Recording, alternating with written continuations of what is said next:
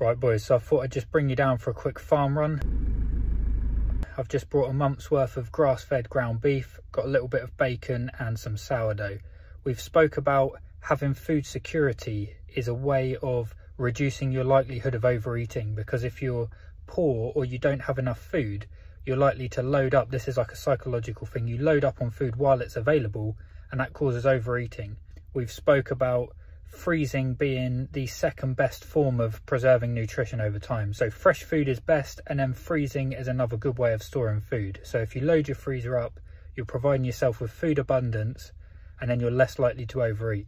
Grass-fed ground beef, streaky bacon, plenty of beef there. And I got some sourdough. I'm trying to make my own sourdough and it's not quite turning out like this. So I just wanted to check the ingredients and kind of use this as inspiration. So boys, hope that helps. See you tomorrow.